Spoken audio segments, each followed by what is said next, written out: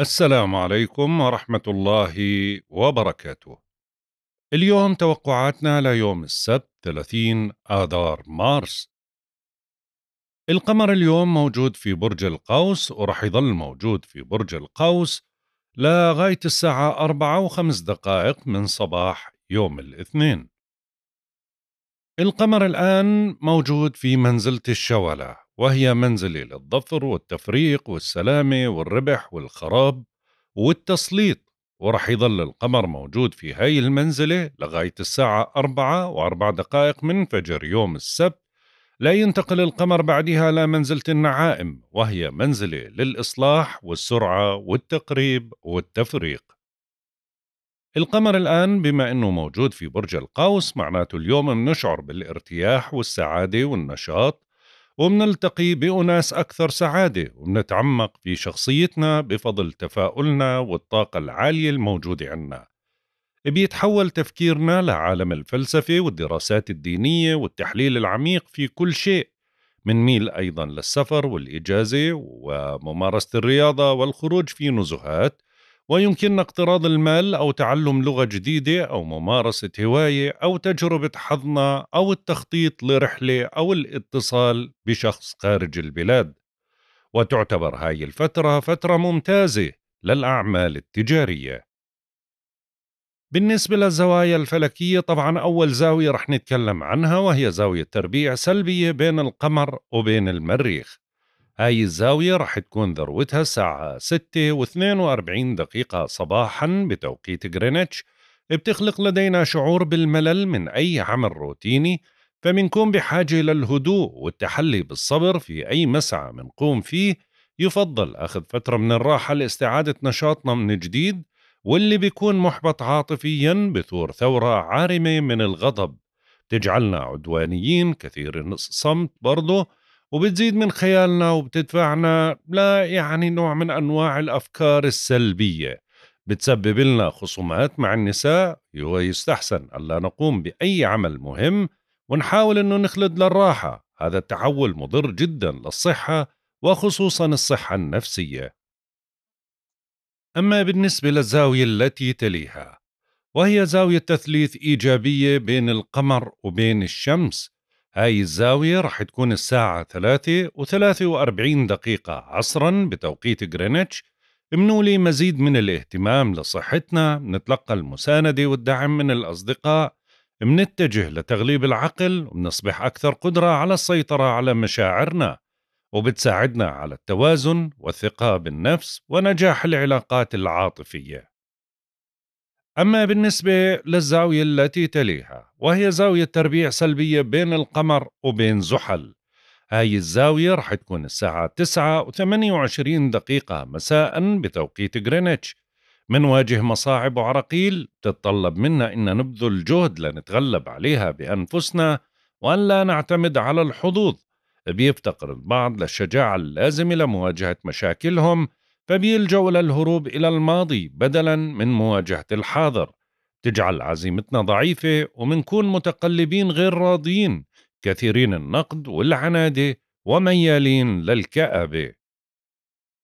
بالنسبة للأعضاء اللي في جسمنا الأكثر حساسية واللي لازم نوفر لها العناية الإضافية ما لازم إن نجري لها عمليات جراحية كبرى اليوم إلا إذا كانت اضطرارية ولكن إذا شعرنا بأي شيء غير اعتيادي نراجع طبيبنا. عنا الكبد والعجز عظم الفخذ عظم آخر العمود الفقري عضلات الورك مفصل الورك الفقرات القطنية والعضلات القطنية. بالنسبة لهذا اليوم يوصى بإجراء عمليات جراحية لباقي أعضاء الجسم ما في أي مشاكل. مناسب لعمليات التجميل مثل الحقن والجراحة. يصلح لإزالة الشعر الزائد يصلح لقص الشعر التجميلي والصبغ. ولكنه لا يصلح للقص العلاجي. بالنسبة للقمر بما أنه موجود في برج القوس خلو المسار القادم رح يبدأ الساعة 12 و15 دقيقة بتوقيت غرينتش بعد منتصف ليل الاثنين ورح يستمر خلو المسار لغاية الساعة 4 وخمس دقائق صباحا ليستقر القمر بعديها في برج الجدي أما بالنسبة لعمر القمر عمر القمر المحدب عمره 20 يوم الساعة 9 ودقيقتين مساء بصير 21 يوم نسبة الإضاءة 73% أما بالنسبة لمزاج الكواكب وطباع الكواكب لهذا اليوم الشمس في الحمل حتى يوم 19 أربعة سعيدة بنسبة 45% القمر في القوس حتى يوم 1 أربعة سعيد الآن بنسبة 15% ساعات الصباح منتحس بنسبة 40% ساعات المساء منتحس بنسبة 10% عطارد في الحمل حتى يوم 1 أربعة سعيد بنسبة 15% الزهرة في الحوت حتى يوم 5 أربعة منتحس الآن بنسبة 40% ساعات الظهر منتحس بنسبة 50% أما في ساعات المساء منتحس بنسبة 10% المريخ في الحوت حتى يوم 30 أربعة منتحس بنسبة 25% المشتري في الثور حتى يوم 25 خمسة منتحس بنسبة 10% زحل في الحوت حتى يوم 29 ستة سعيد بنسبة 15% أورانوس في الثور حتى يوم 1 تسعة سعيد بنسبة 15% ونبتون في الحوت حتى يوم 2 سبعة سعيد بنسبة 15% وبلوتو في الدلو حتى يوم 2 5 سعيد بنسبة 15% وصلنا للتوقعات اليومية. برج الحمل. بالنسبة لمواليد برج الحمل طبعا اليوم بتنشطوا في مجال الدراسة والسفر والاتصالات لا سيما البعيدة وبتشعروا بقوة العاطفة وتجاوب أحبائكم معكم. ممكن بعضكم اليوم يذهب في رحلة أو زيارة مثلا أو يروج لعمل وممكن تحصلوا على معلومات ما كنتوا تتوقعوها وبيكون في نوع من أنواع النجاح والحظ في حياتكم العملية والعاطفية والعائلية. برج الثور بالنسبة لمواليد برج الثور بتعيدوا تنظيم أموركم المالية المشترك اليوم والفرصة متاحة لمكسب مالي مع هيك بدكم تخففوا من النفقات قدر المستطاع. سارعوا لتهدئة الأجواء هاي فترة مناسبة للاطلاع على آراء الغير. ممكن تتلقوا مساعدة أو تعاطف عليكم التحلو بالليونة والدبلوماسية والتفكير الموضوعي أيضا. برج الجوزاء. بالنسبة لمواليد برج الجوزاء طبعا اليوم القمر مقابلكم تماما فهذا اليوم مناسب لتعزيز شراكاتكم سواء في مجال العمل أو العاطفة أو ما بين الأزواج. ولكنها بتظل فترة سلبية وضاغطة طاقتكم ضعيفة ما بينفع فيها سوى الصبر والمرونة. ممكن تتعرض لبعض المضايقات أو الخلافات لازم تضبط أعصابك. برج السرطان. بالنسبة لمواليد برج السرطان طبعا أنجزوا ما بوسعكم من العمل المتراكم دون المبالغة في ذلك. وبرضو بدكم تنتبهوا لغذائكم وراحتكم وتكونوا منظمين وتحسنوا إدارة أعمالكم وحاذروا من الجدال مع المعاونين أو مع زملائكم وما تهملوا صحتكم. ولا تأجلوا ولا تماطلوا أعمالكم حتى لو اضطررتوا للعمل لساعات إضافية. برج الأسد.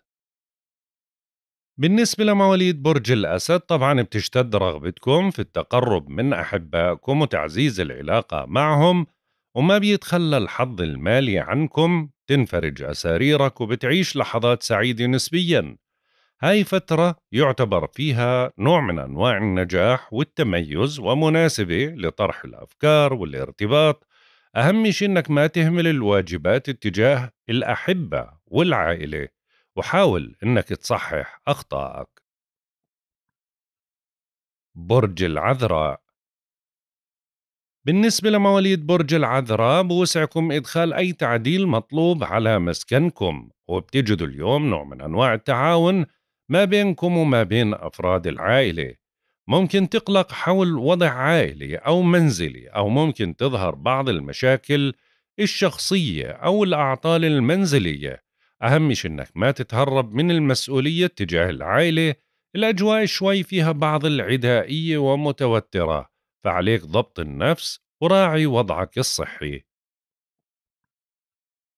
برج الميزان بالنسبة لمواليد برج الميزان بتنشطوا في مجال السفر والاتصالات ويعتبر هذا اليوم يوم مناسب لاجتياز امتحان وبإمكانكم تعزيز العلاقة مع أخ أو جار.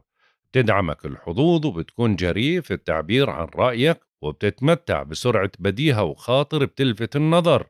الأجواء لطيفة وممكن إنها تحمل لك لقاء عاطفي أو مصالحة أو ورشة عمل لتأهيل قدراتك. برج العقرب. بالنسبة لمواليد برج العقرب طبعا اليوم بيحمل لكم فرصة لمكسب مالي. هذا المكسب عادة بيجي من عمل إضافي. مع هيك بدكم تكونوا حذرين في النفقات. امتنعوا عن المشتريات الغير ضرورية. ممكن تهتموا بتوظيف أموالكم ولكن بدكم تكونوا عاقلين في صرف الأموال. ممكن تهتموا لمناقشة أو دعم مالي أو قرض أو ممكن تفكروا في بعض الاستثمارات والتوظيفات. تعتبر هاي فترة إيجابية ممكن تحقق من خلالها ربح. برج القوس. بالنسبة لمواليد برج القوس طبعا ثقتكم بأنفسكم كبيرة وبعمكم النشاط وبإمكانكم تبادروا لخطوة جديدة تدعم من مكانتكم الاجتماعية. هذا اليوم في انفراج وفي تقدم ملموس بعد أيام كان فيها مراوحة وركود. عليكم التحلي بالحكمة والواقعية في بعض الأمور. بتشتد عزيمتكم وبترتفع المعنويات وبتستعيد سيطرتك وبتحقق نجاح باهر.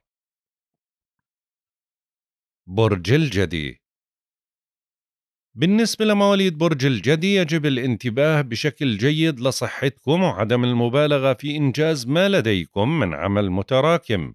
تهدأ وتيرتكم لحد الركود. ممكن تلغي مشاريعك أو تعاني من تراجع معنوي أو صحي.